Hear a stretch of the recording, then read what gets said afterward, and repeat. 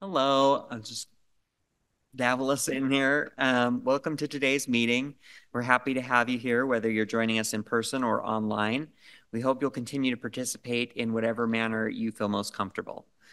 Um, please, uh, let's start our meeting with the Pledge of Allegiance. So if you'll all please join me. Pledge allegiance to the flag of the United States of America and to the republic for which it stands, one nation, under God, indivisible, with liberty and justice for all. All right, thank you again. Um, before we move through the agenda, I want to quickly go through um, registration information and some of our rules and standards for public meetings. Uh, we welcome everyone, and the council's goal is to make the meeting place uh, a place where people feel safe and comfortable participating in their government. We invite everyone to help make this a welcoming space for others. Um, a respectful and safe environment allows us to conduct the meeting in an orderly and efficient way. Our most basic rule is that any action that causes a disruption to our ability to conduct the meeting or any safety concern involving threats or unprotected speech are not allowed. These actions or comments may result in removal from the meeting. We also ask that you avoid profanity, personal attacks, intimidation, or discriminatory language. Comments uh, that include this content are not persuasive to the council. If you choose to use such language, the council may interrupt you uh, or to remind you, uh, or the council, uh, some council members may choose to leave um, and not, not hear your comments. As a reminder of our public comment registration process, individuals may register to comment on a scheduled public hearing item up until the hearing is closed. For the general comment section, we will accept signups until 7:30 p.m. The general comment section is limited to a maximum of one hour and will not include commenters who register, uh, who do not register before 7:30. So, if you are here to give personal comments, or excuse me, general comments, please sign up and remember that it is possible that not everyone who signs up may be able to speak in the time requirements that we have. So, uh, this brings us to item A4, which is um, approving a the formal meeting minutes of February 6th, 2024, August 27th, 2024, and September 17th, 2024. I So will look moved. for motion. So moved. Second. I have a motion from Councilmember Dugan and a second from Councilmember Mano. Is there any discussion of this? Seeing none, we'll go ahead and vote. All in favor? Aye. Aye. Any oppo- Any opposed? All right, that passes unanimously. Um, and I can't tell who, I, I know we have Councilmember Puy joining. I can't tell if we have um, our other two council members, but, They are not attending online currently. okay, great. Uh, it's my understanding that they were not attending. They're on a city conference in Florida, so because of the time change, um, Councilmember Puy is up late. Okay, great. Well, so that passes unanimously with um, council members Petro and Lopez Chavez um, not joining us. Okay, um, that brings us to item A5, which is um, a joint ceremonial resolution with Mayor Mendenhall declaring November as Native American Heritage Month in Salt Lake City. I'm going to turn the time over to Councilmember Young, who will read this resolution. Thank you. So this is our joint resolution declaring November 2024 Native American Heritage Month in Salt Lake City. Whereas Salt Lake City stands on the ancestral homelands of many indigenous nations, including the Ute, all bands, Paiute, Goshute, Dene Navajo, Shoshone, Arapaho, Oglala Sioux, Cheyenne River Sioux, Wind River Shoshone, Cherokee, or Rosebud Sioux tribes and their respective bands, whose members have lived, stewarded, and cared for the Salt Lake Valley and the Wasatch Range for millennia. And whereas Native American community residing within Salt Lake City are a unique and diverse population representing many tribal nations, cultural values, and traditions, contributing to the vibrant character of the city through celebrations, heritage, and achievement. And whereas Native Americans have played an essential role in the economic, cultural, and social development of Salt Lake City, offering invaluable contributions through treaties, land stewardship, traditions, art, commerce, and leadership. And whereas we recognize and honor Indigenous peoples as distinguished scholars, veterans, educators, athletes, artists, entrepreneurs, public servants, and community leaders whose legacy and ongoing contributions continue to shape and enhance the city. And whereas the city remains committed to fostering meaningful dialogue, improving services, and building partnerships with Na- Native American residents and promoting justice, equity, mutual respect, and shared prosperity for all. Now, therefore, be it resolved that the Salt Lake City Council and the Mayor of Salt Lake City hereby declare the month of November 2024 as Native American Heritage Month in recognition of the enduring per- presence, contributions, and legacy of Native American communities. Thank you. I'll look for a motion. Move for approval. we go adopt, we adopt the joint ceremonial resolution with Mayor Mendenhall declaring November as Native American Heritage Month in Salt Lake City. Second. I have a motion from Councilmember Dugan and a second from Councilmember Young. Any discussion? Okay, we'll go ahead and vote. All in favor? Aye. Any, Aye. any opposed? Uh, abstentions? All right, that passes unanimously with Councilmember Petro and uh, Lopez Chavez not present. Um, we have um, some guests that are here to accept the resolution. Um, and so we'd invite you now to come to the microphone and um, say anything that you'd like. And then if you want to join us up here, we can take a picture um, after that.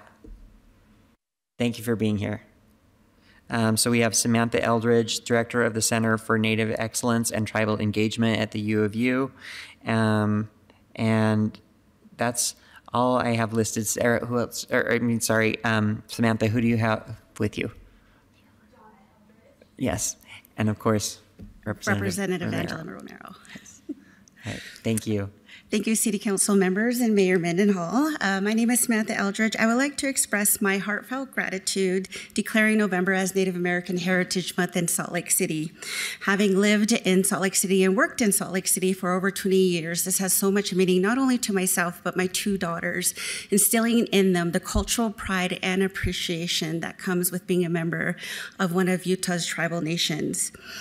The resolution not only acknowledges the contributions of our tribal communities, but also fosters an environment of learning, understanding, and building stronger connections within our diverse community. Knowing that Salt Lake City values and respects the original peoples of this land, it inspires me and many others to take pride in our identity and where we come from and to continue working together towards a brighter future. Akihat Nisago, thank you. Thank you. And uh, do you want to come join? Or, oh, sorry. Do you, did you want to make comments as well? No, I'm good. okay. do you want to join us up here for a picture? Okay, please do.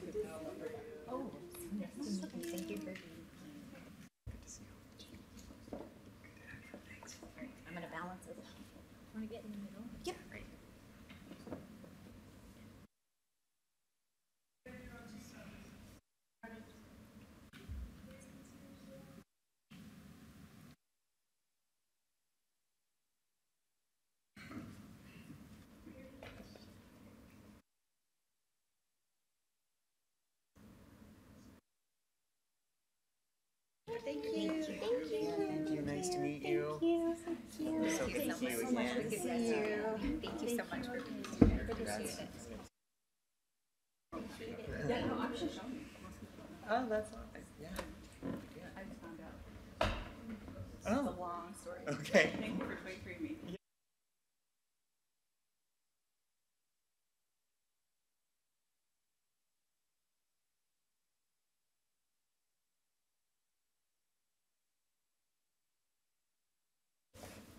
Okay.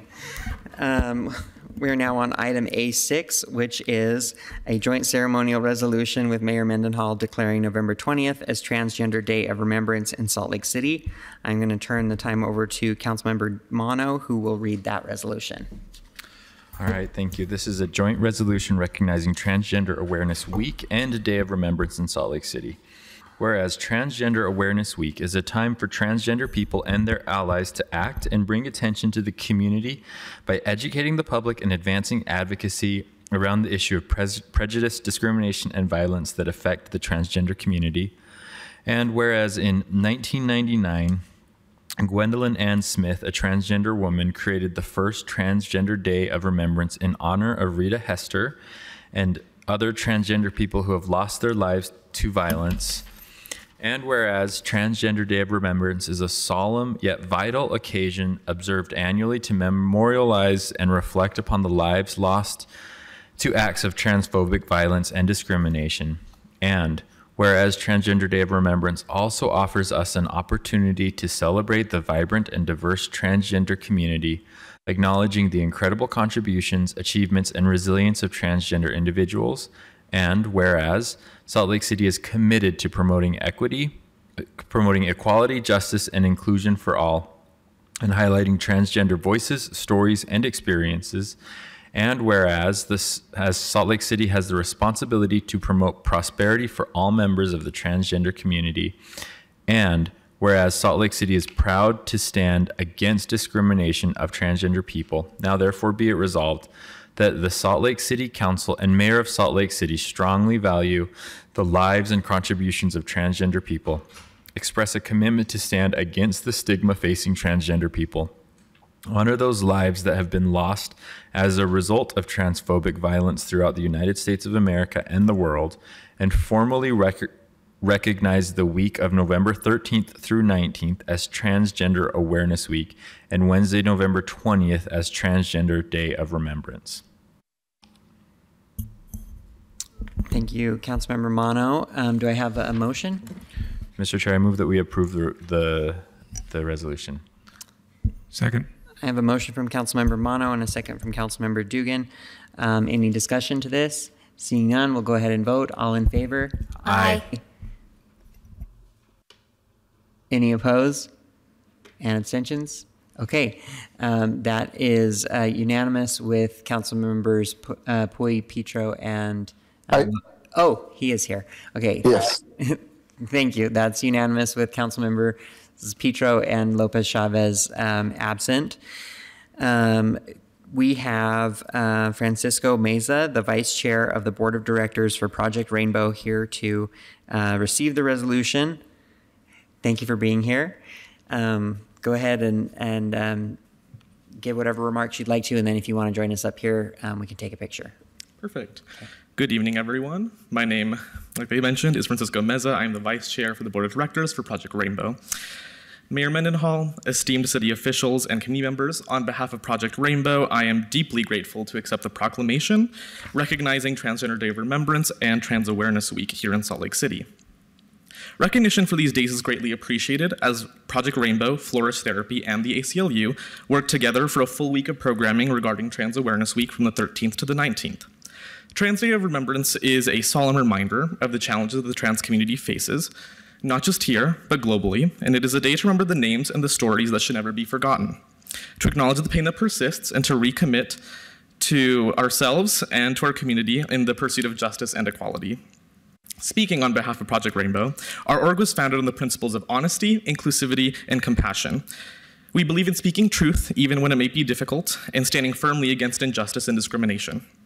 In our mission to support and uplift our community, we recognize that progress is seldom done in isolation. As such, tonight's proclamation is not just a piece of paper, it is a testament to the city's commitment to recognizing and uplifting the trans community. While history has not always been kind to trans individuals, this signifies a step forward in acknowledging the struggles faced and the resilience shown by trans people in Salt Lake City and beyond. However, proclamations and words must be met with actions. As we move forward, let us all, city officials, organizations, and community members, continue to work together to create safe spaces, to educate and to advocate for policies that protect and empower our communities.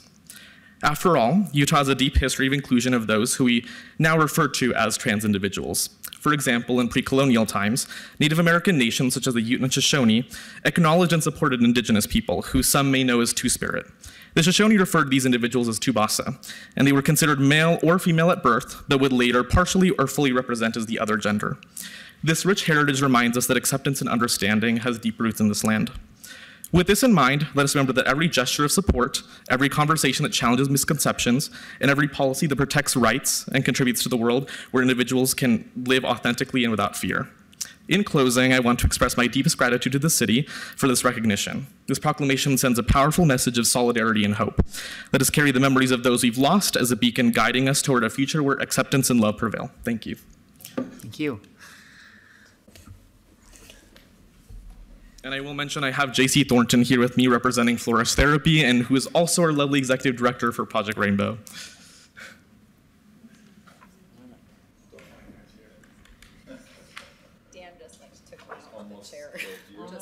kan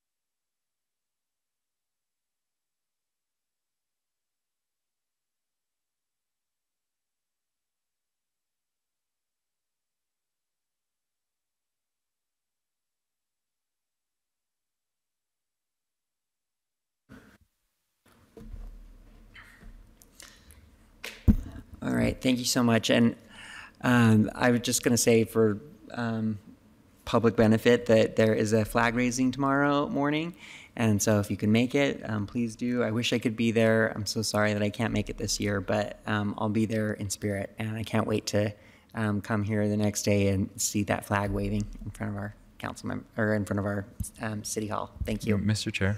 Yes. If I could just have a quick moment of personal appreciation. Just want to say thank you for both of the for both of the resolutions, the people that came to accept those and be part of our community. And I think in this, um, just the things that we've all experienced collectively over the last few years, it's important for us to recognize all members of our community and all the diverse voices that make up Salt Lake City. And so thank you for being here, not just to accept the resolution, but for being here in this city and being being part of us. Thank you. Thank you, Councilmember Romano. Anyone else? All right. Uh, then we will move on to um, the public or public hearing section of our agenda. So these are specific proposals before the council that require a public hearing. Your comments should pertain to the hearing item, and if you go off topic, we will ask you to stop your comment. Our meeting rules apply to hearing comments as well, so please avoid disruptions or threats, or we will ask a staff member to assist you out of the meeting. Also, as a reminder, comments that include profanity, personal attacks, intimidation, or discriminatory language are not persuasive or compelling to the council. They are not helpful in creating a respectful or safe environment either. Uh, to sign up to comment on any of these items, please register online or turn in a comment card to um, uh, one of our staff members that's here in person. We accept signups until the hearing item is closed. We will be calling the names in order of uh, how the person signed up. If you are on Zoom, please unmute your mic when your name is called. Each person will have two minutes to speak. Uh, please raise your hand in the Zoom or on either in person or on Zoom if you need assistance. If you're having technical issues in Zoom, our staff member Ellie Tran can assist you. If you reach the two minute mark, the host will announce time and your microphone will be muted. If you're unable to finish your comment, please share the rest of your, um, your remarks via email mail, or call our office. Contact information is listed at slccouncil.com. If you have a handout for the council, please notify council staff and they will assist you in distributing that to all of us. Okay. Let's see.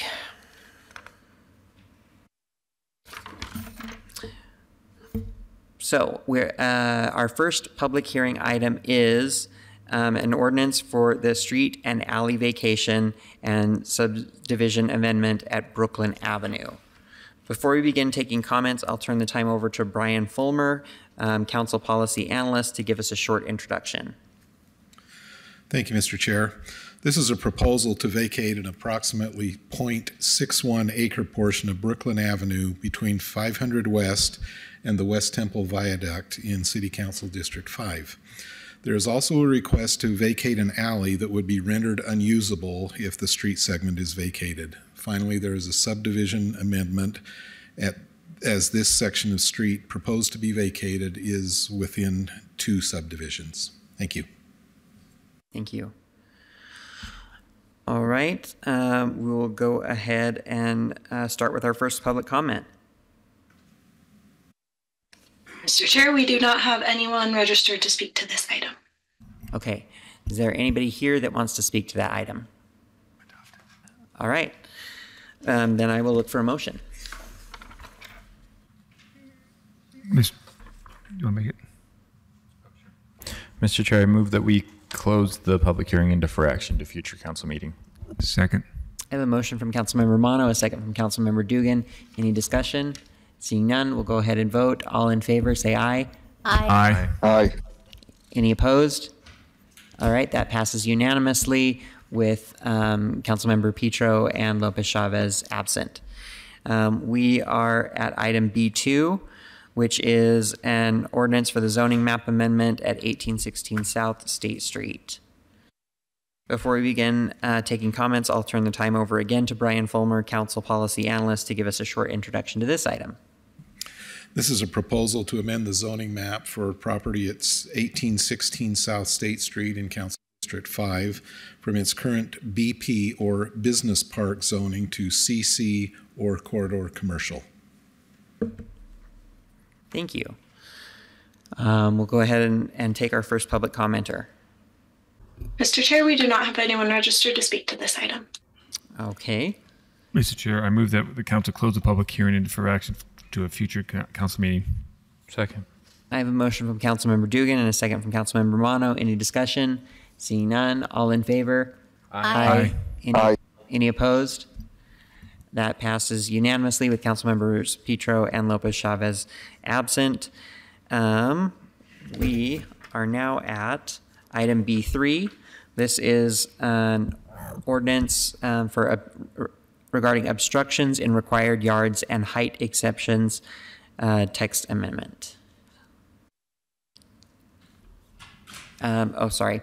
Uh, turn the time over to Brian again for a brief intro. Thanks, Thank you. This is a proposal initiated by the Planning Commission to amend city code and allow up to an additional 10 feet of building height for rooftop amenities with associated unenclosed shade structures in some zoning districts. In addition, the proposal would update city code related to obstructions in required yards. These changes would bring the code into compliance with recent changes to state statutes, remove outdated language, and add clarity. Thank you. Thank you. We'll go ahead and start with our first public comment. Thank you, Mr. Chair. There is one person registered to speak to this item. That will be Myra Peterson. Myra, you may now unmute. I think I am. Am I? Yep, we can hear you. Oh, awesome. Thanks for having us. We own, uh, my family and I own uh, Violet Eatery on 1588 East Stratford Avenue. Uh, prior, it was um, Stratford proper. They uh, built a structure that is enclosed in the winter and heated. So the city is looking at it as a uh, dwelling in the in the wintertime. Um, all around, it's an amazing piece of our restaurant. In fact, our restaurant doesn't survive without this additional seating in all months of the year. So we are just simply asking or or looking for a motion to protect um, a very small, independent mom and pop shop local restaurant. Okay, thank you. Anyone else wish to speak to this?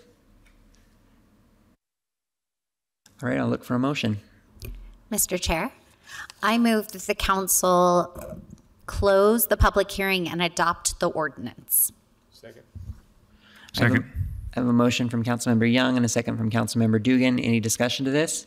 I would, Mr. Chair, if I may. Go ahead. I would just like to add, thank you for um, Violet coming to speak to this tonight. I think one of the additional things, just for um, the awareness of everyone, a lot of these structures were allowed as um, necessary during the pandemic when we were trying to, you know, be cognizant of how close we were to individuals. In this specific case, we're just moving forward with allowing, even though those properties may transfer ownership, that those structures can be maintained.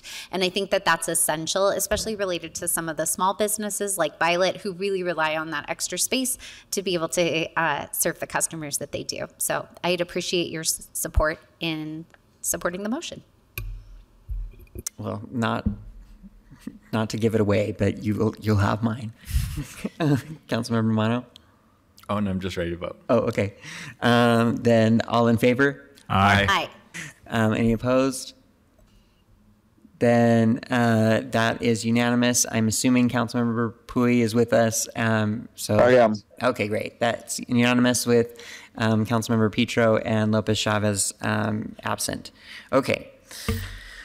We are now to um, item B4, um, which is an ordinance um, regarding Airport Title 16 amendments. Before taking comments, I'll turn the time over to Nick Tarbet, um, Council Deputy Director, to give us a short introduction.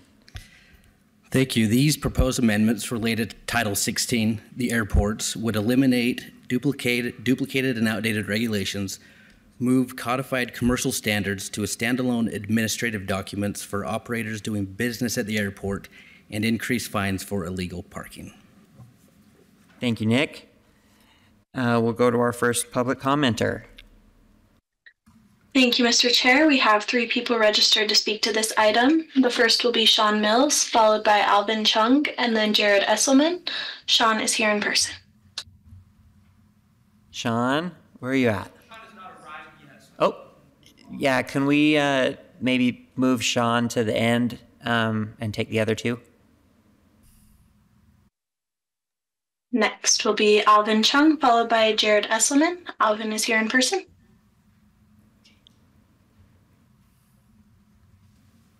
Good evening, council members.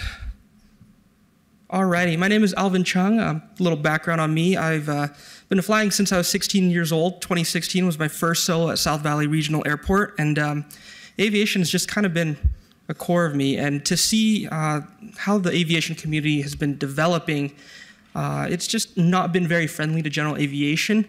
And you know, we're looking to make some some changes, whether it be in uh, new FBO or you know helping the folks out at Salt Lake City International Airport. And all of that's being held up by this Title uh, 16 uh, amendment, I believe, is what it is. And I just want to let you guys know that to the aviation community, it's it's huge that uh, you guys move on this. So I'd urge you guys to um, vote on this matter today or sometime in the near future. Thank you. All right, thank you. Next is Jared Esselman, followed by Sean Mills. Jared's here in person. Mayor Mendenhall, members of the council. I am the, I'm Jared Esselman. I'm the vice president of the Utah General Aviation Association. I represent uh, most, if not all, of the aircraft owners at Salt Lake International, South Valley Regional, and Tooele Valley Regional. Um, I'm also the former director of aeronautics for the state of Utah, and I manage the state aviation system. Um, I, I, sent you all a letter, uh, Dave Heyman, from our president, Dave Heyman. Um, in 1998, we did this very same thing, and it, and it took a year for the air, airport tenants and the airport staff to come up with language that everybody could accept. Well, this year, because of great airport staff, uh, we did it in about an hour. An hour. So we just sat down, we're all buddies, we came up with language we agreed upon, but it's been two years that we're waiting for this FBO to come out, and we're, we're craving it. Um, matter of fact, we are, we are losing hangars, and, and we need to build new hangars, and we need to start that pretty quick. Like we needed to start it yesterday. Um, I'm, I'm going to lose my hangar pretty soon. Um, to this. So I urge you, we've been patient, we've been very patient. Please vote on this tonight, approve it tonight. Let's move forward. Thank you. Thank you. And next is Sean Mills, who's here in person. And Just update from Sean Mills. He's uh, not able to make it in person. He can't find the Zoom link for it. So Okay. Um, well, thank you for everybody who did comment. Um, I will go ahead and look for a motion. Mr. Chair, I move the council close the public hearing and adopt. I further move that the council adopt a legislative action requesting small group meetings with the administration and attorney's office to coordinate on impact fees, facility plan updates, and now administrative projects managed by the city department, city departments are handled. Second. All right, I have a motion from Councilmember Dugan, an aviator himself, and a second from Councilmember Mano. Um, any discussion to this? a non-aviator, Pass- confirmed passenger. A passenger. um, any discussion? Seeing none, we'll go ahead and vote. All in favor? Aye. Aye. Aye. And um, any opposed? All right, that, that passes unanimously with Councilmember uh, Petro and Lopez Chavez absent. Um, we will go ahead and move on to. um, Uh, our next um, agenda section is potential action items. We don't have any of those tonight, so that brings us to the public comment portion. Um, and uh, we'll start with, uh, or we'll we'll start with questions to the mayor from the council. Any questions? I have none. All right, Mayor, thank you for being here. Um, and now we'll go into our general public comments. Uh, so this is for the public to comment on any city, city business not scheduled for a public hearing. This section is limited to a maximum of one hour and to only those individuals who have registered to speak before 7:30. Our meeting rules apply to these general comments. Please avoid disruptions or threats.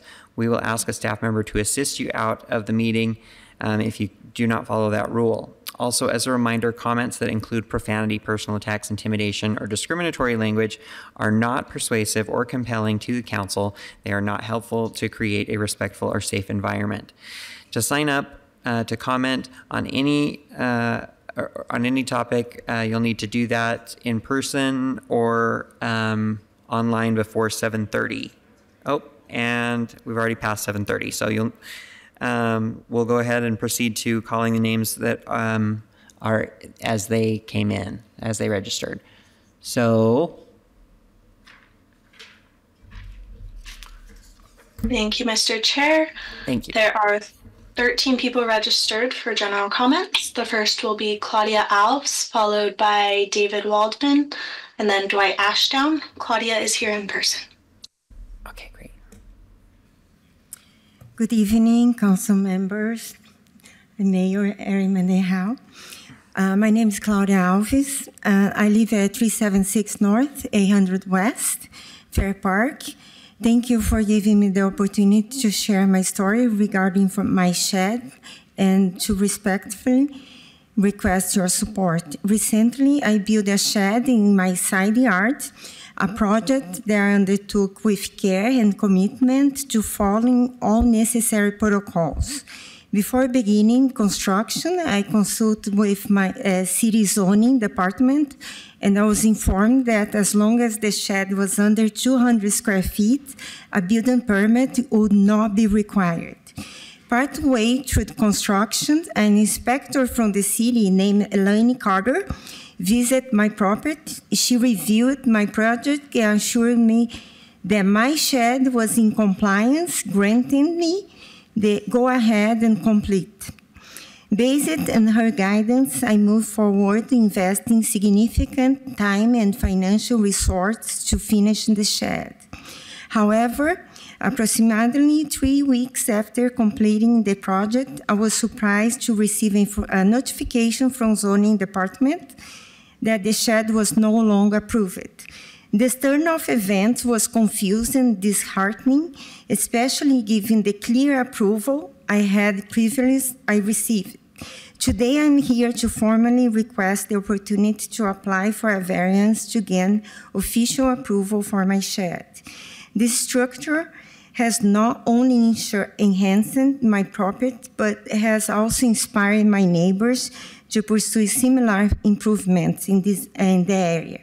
As a result, our block has seen a positive transformation that reflects pride in our community. Had I been given accurate information from the start, I would have made different choice. Thank you. Um, sounds like you were able to finish, but if you weren't, you can always submit the rest of your comments um, online um, via email or uh, mail, or you can, if you have them written, you can leave them with us and they'll become part of the public record. You're welcome. Next commenter. Is David Waldman, followed by Dwight Ashdown, and then John Harrington. David's here in person. Good evening. I'm David Waldman, 784 East Edge Hill Road, District 3. I'm here with seven of my neighbors. Edge Hill is a small street with 11 homes located at the top of Upper Avenues, above 18th Avenue and just below the open space. Edge Hill Road ends with an hammerhead turnaround adjacent to our open space.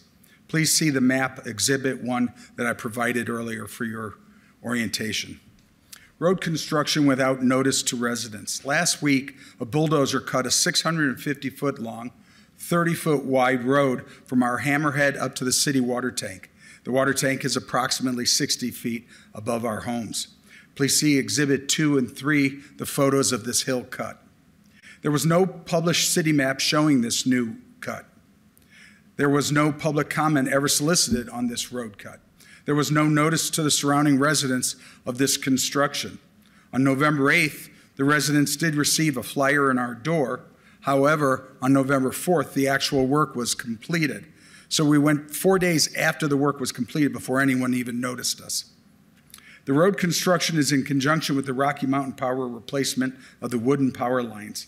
We're not here to complain about the fire mitigation pole work. We're not going to take up your time complaining about the scarring of the public lands. However, our complaint is the future restoration and failure. We are here to respond to the city personnel's statement that the new Edge Hill access road was both existing and the deep new cut will be permanent. The natural beauty of the hillside, as it was prior to November 4th, will not be restored. The city plan is this egregious hill cut will remain indefinitely. Someone else will continue where I ended up. Thank you. And next will be Dwight Ashdown, followed by John Harrington, and then Katie Romney. Dwight's here in person. Good evening. Apparently, the Department of Public Utilities, DPU, wants this access road to be their new primary water tank access. DPU put in writing this week that they will not pave the road, but not how they will protect the residences of Edge Hill from excessive stormwater runoff, overcrowding on Edge Hill, or public safety issues if emergency equipment no longer has adequate ingress egress on Edge Hill due to parked vehicles. The new road would encompass approximately 10,000 square feet. The road has a grade slope of 25 degrees for at least 30% of the road length. The road would create a new watershed collection basin. The new road would be a third road to the area to access one DPU water tank. The first existing access road is off Terrace Hills behind a locked gate. A second existing partially graded access road is off 18th Avenue at the trailhead, again behind a gate. Why does DPU need a third access road scarring the hillside? To claim an access already existed off Edge Hill is absurd. Not even a monster truck could have climbed this terrain. See Exhibit 4 map of what was approved for access roads. History of water control and damages. Edge Hill Road has a past experience of stormwater damage. Initially, the road was designed and built with poor water control plan. Today, no open stormwater sewers exist in the road to evacuate water efficiently and safety. Another person will continue our comments. Next is John Harrington, followed by Katie Romney, and then Susan Dawson. John's here in person. May it please the uh, council, Mayor Mendenhall. Um, this is an instance of denial of due process for the residents.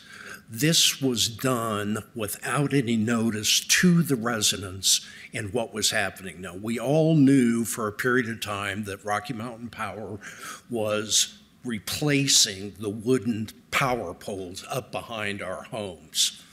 We were assured and continued to be assured by Rocky Mountain Power that there will be remediation, that this will be restored. Now, what then happened is, is that there was a road for this large machinery that went in. And now the city, without any notice to us, has said, we want that road to be in effect permanent. That's wrong. That's completely wrong. We've had the rules of the game changed on us for a second time. Now, in spite of the fact that the city has given us no, no, no notice, I would like to put this council on notice with respect to what this will do. The city will have liability for this because of the floodwater. There is no engineering plans that have been filed. There is no water control plans that have been filed. And what is going to happen is, is that that moisture and rain and snow is going to come down that road and flood the 11 homes on Edge Hill. Now, you folks are now going to be on notice that that's going to happen.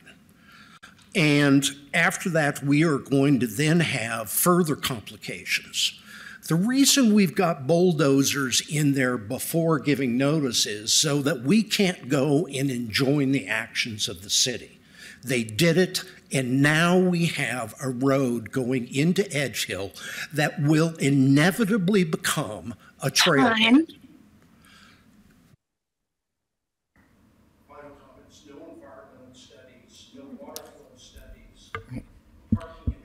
Thank you. You can, thank, thank you. Thank you. Yeah, you can, any other comments that you didn't get a chance to make, you can make in writing and they will be part of the record. Thank you. Next is Katie Romney, followed by Susan Dawson, and then Pamela Johnson. Katie's here in person. Thank you, Mayor Mendenhall, council members. Thanks for the opportunity. Here with my neighbors tonight, I'm here to kind of list out what our requests of the city are. Um, that this new access road must be abandoned. Um, after this pole project is done, Rocky Mountain Power has said that they're going to restore the area, so we do expect this to be included in that. As was pointed out, there's already, this is duplicative, it's actually a, a triple road. Um, restoration of the hillside, it was so sad. This is like right outside my front door.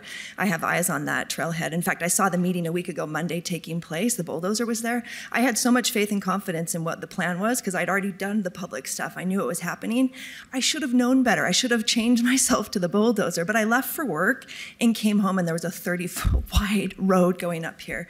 There's already a tremendous amount of um, uh, let me, I'll stick to the points. Um, ensure the water flow will not flow down onto Edge Hill, as pointed out. The turnaround um, should be reconfigured. It was already a poor turnaround. It's a dead end where every Monday the, the recycling truck or the garbage truck, I get it confused, one of them every Monday is backing down our street. There's no room to turn around. So when I saw the bulldozer, I was like, oh my God, they're fin- oh my gosh, they're finally here to correct the end of the road and make it uh, uh, accessible. Winter season is coming, snow plows are coming, snow plows back up down this street already. So, um, but that's not what happened. They bulldozed. and that can't, um, it really probably can't ever be uh, remediated, but we would hope that they would. We'd hope that po- the signage would be posted prohibiting motorbikes. Um, just this last weekend, there was no gate there, and there was four wheeling taking place. I watched it happen. Um, I don't mind the people that are up there. I welcome them. One of our requests would be to repost the no parking sign. In fact, I'm welcoming people to park right in front of my front door. It's like five feet away. But please park your car there, come up and access the trail. But the other side can't be parking, otherwise, nobody gets around. A fire truck would never be able to get back out of there. Post that it's not a trailhead, parking on one side only, no parking at the 80 degree bend, and no access signage. Okay. Thank you. Next is Susan Dawson, followed by Pamela Johnson, and then Robert Coate. Susan's here in person. Thank you for the opportunity to talk to you. Um, Chris Wharton and a number of you have been getting letters from me for 25 years, um, particularly pertaining to the ever changing turnaround. The um, turnaround when we bought the house in 1998 was large enough to fully and comfortably turn around a vehicle without backing, not a K type turn. The K type turn is a deterrent to good and experienced drivers. It's difficult, and they're having to make multiple ones to actually turn in the current hammerhead arrangement as opposed to a cul-de-sac type arrangement. Um, if that turnaround is not safe, we have the liability of that backing. Um, I have had the experience of losing a playmate to a backing truck. It is heartbreaking for everybody involved, and yet sooner or later will happen, particularly on that steep road with that tight turn where the driver does not have a good, clear view behind him. Um, we really need the signs replaced with the no parking. This would appear to be in the neighbor's interest. The problem is that Edge Hill is only 30 feet wide as opposed to, say, Terrace Hills, which is 45 feet wide. With 30 feet, we cannot park on both sides of the street and get vehicles up and down. If we have parking on both sides, we can't get a fire truck, an ambulance, or any other type of emergency equipment up there. And they are up there on a regular basis attending the trail system in addition and more often than they're attending us. Thank you. Next is Pamela Johnson, followed by Robert Coate, and then Hillary Jacobs. Pamela's here in person. Thank you. I'm happy to be here. In 1976, I bought a home in the High Avenues for $67,000. You can tell that was a long time ago. I've seen a lot.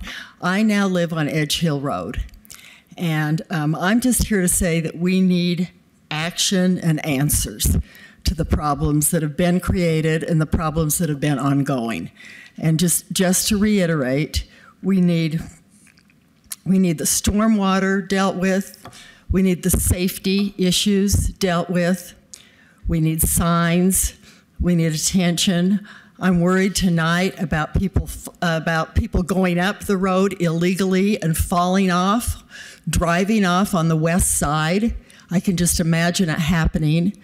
I do remember years ago being awakened with a knock on my door, somebody that was in a Jeep up high in these very mountains who tipped over. My husband went up with the person. I called the ambulance. It was a long night in the neighborhood. It frightens me to know what can happen in this area with this new road. So, are we going to gate it? Are we going to get the signs up? Are we going to get action and answers? That's what I'm asking for. Thank you. Next is Robert Coate, followed by Hillary Jacobs, and then Carlton Detar. Robert's here in person. Hello. Hello. Hi, I'm Robert. I'm currently homeless, but I work. I stay at the MRC shelter in South Salt Lake. Um, I'm calling. Um, I'm here because I wanted to ask if you had any plans about opening a working shelter, like a worker shelter something that would help alleviate because there are a lot of workers that are in shelters um, due to the economic crisis as well as you know just disabilities and um, bad luck you know. Um, i'm only homeless because i came out here for to work for cr england and they were the ones providing housing and they canceled my schooling because i keep the sabbath and they didn't want to accommodate that. And it's I can tell it's very hard for a lot of people um, at the shelter being intermingled with a lot of the people that are there. So addicts and um, insane people. It's kind of sad to say out loud, but these are people that I intermingle with every day. And it's depressing, not only for the, the ones that are normal or just have disabilities, but uh, a worker shelter would alleviate a lot of the space in within the shelters that are already existing and help help give hope back to people that want to get back on their feet and out of homelessness. And it would be like a funnel, like there's a drain that's going down into homelessness from people that are in the standard way of living, and there's no way back up besides you climbing back your way back up. So if there was a way for people to climb back up, like a funnel back into the standard way of living, it could help. And especially since you guys have the, the Olympics coming here in 2034, um, you don't want to have that issue, you know what I mean? Grow bigger. I'm not a good speaker. but- Time. Uh, That's okay. Um, I'm gonna gi- take, I'm gonna call on myself to give you personal privilege. If you can come take um, this number, and this is the State Office of Homeless Services. And then if you have other questions, we can have a staff member um, answer those for you, okay? Yeah. Thank you for coming. I appreciate it. I'm also gonna give my, call on myself for personal privilege just to see any, is there anyone else that wants to comment about the Edge, about Edge Hill specifically? Okay, then I'll wait until you've had a chance. Okay, thanks. Next is Hillary Jacobs, followed by Carlton Destar, and then Dirk Lamb. Hillary's here in person. Hello, Council and Mayor. I am Hillary Jacobs, resident of Salt Lake City and a co-founder of Save Our Foothills. After receiving several alarming messages regarding the Rocky Mountain Power Pole upgrade project in the foothills, and after hearing Rocky Mountain Power's work plan presentation at last Wednesday's Greater Avenues Community Council meeting, I decided to look for myself. There are no words to describe the catastrophic damage that has resulted from their activities in the foothills natural lands. Huge graded roads, 20 feet wide, have been bulldozed up and across slopes from Bonneville Boulevard through the 18th Avenue's meadows and to the top of the ridge above Terrace Hills. Nothing has been spared as the bulldozers have slashed through steep slopes with 15 foot embankments, grading multiple roads fanning out to single poles. Rocky Mountain Power has diverted far from their 20 foot easement because they said it would cause less environmental damage. In fact, this damage is truly, truly unfathomable and unconscionable. As partners with Rocky Mountain Power, Salt Lake City Public Lands and Public Utilities have allowed this to occur. Public lands have been assigned stewardship over the foothills natural lands, yet they permitted this disaster. In this arid and fragile environment, cutaway hillsides will slump, invasive plants will readily occupy the huge scars. In short, the native ecosystem foundation has been scraped away. We will witness a repeat of the consequences after the misguided 2020 trail system plan trails were cut deep into the vulnerable slopes, but on a scale that is difficult to even imagine. Who is to be held accountable for this assault on our public lands? Who has a responsibility to oversee or ensure environmental protections of the natural lands? Public lands must be held accountable for their promise to follow the recommendations in the, South, in the SE Group report and for the fact that they have not done so. Too many promises have been made and then broken. The foothills natural lands have been irreparably harmed. How much more has to be sacrificed before this group is finally held accountable? Thank you. You may want to go check on it yourselves. It's astonishing. Thanks. Fine. Next is Carlton Destar, followed by Dirk Lamb. Carlton is here in person. So, as I said, my name is Carlton Detar. I'm a resident of a home at the corner of Edge Hill and Little Little Valley. Um, Mayor Mendenhall and council members, thank you for the opportunity to comment. I'm going to spare you repetition because you've heard it already from several of my neighbors. But I wanted to add that I attended the general, the Greater Avenues Community Council meeting uh, last Wednesday, and there was a presentation by Rocky Mountain Power and by uh, Public Utilities. And nowhere in that presentation was there any mention of keeping a permanent or having a permanent road from the top of Edge Hill to the water tank. So I'm urging the council or the public utilities to abandon the plans for making it permanent. We already have access roads for that and to restore it uh, as much as possible to the uh, native uh, habitat. Thank you. Thank you, Carlton. And next will be Dirk Lamb, followed by Daniel Schelling. Dirk, you may now unmute. Hi, um, I'm just calling in to say that as a young person living in the city, I'm very concerned about climate change and the effects that it's going to have on everybody.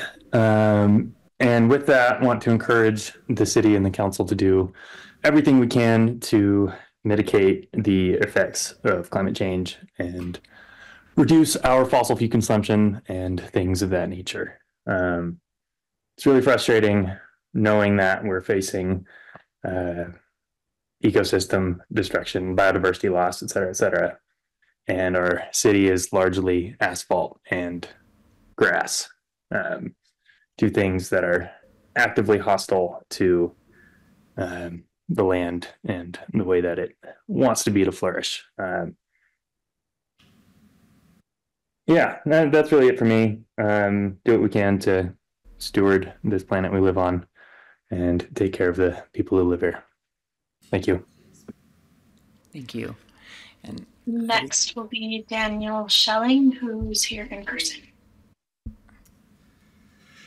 Good evening, City Council and Mayor. Uh, thank you for being here.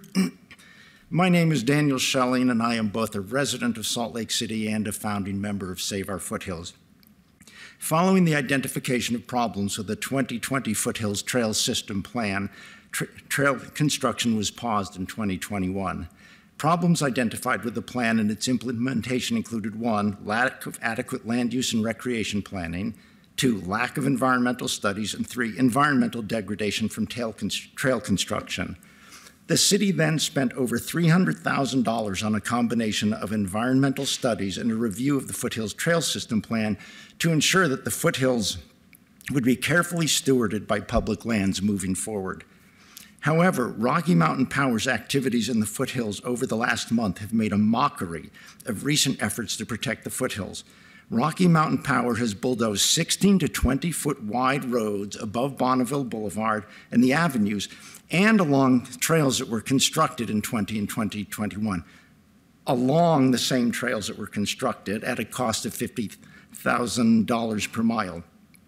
The Salt Lake City Public Lands Department has approved of and facilitated this work. My questions to the City Council and administration, are these. One, who is overseeing stewardship of our natural lands in the Salt Lake City foothills? Two, what has public lands done to advocate for the foothills natural lands? Three, can we trust public lands to protect the foothill ecosystems after they have allowed this environmental disaster to proceed? And four, who will ensure that reclamation, restoration, and revegetation of the foothills is comprehensive? I think the City Council and administration should get answers to these questions before public lands is permitted to move forward on any future work in the foothills. I also encourage all of you to visit the foothills above Terrace Hills to see the incomprehensible environmental destruction. Uh, you will be shocked and dismayed. Thank you. Um, just to, I just was gonna call myself for personal privilege, but I didn't want to cut people off after their name was announced. If you, the residents from Edge Hill, want to stay until the end of the meeting, I can talk with you. Um, but I did hear you. I've received your letters. Um, and um, I'm just finding out some of the details of this myself. So I am going to be working on it, but I wanted to let you know that if you did want to stay till the end of the meeting, I can talk to you after. Okay, thank you. Sorry to whoever I interrupted. That was the final registered commenter. Oh, great. Okay. Um, well, that means we're getting close to the end of the meeting.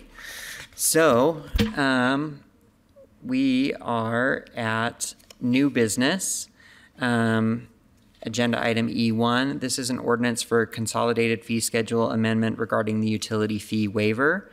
Um, I'll look for a motion. No, no one. Why not? Yeah.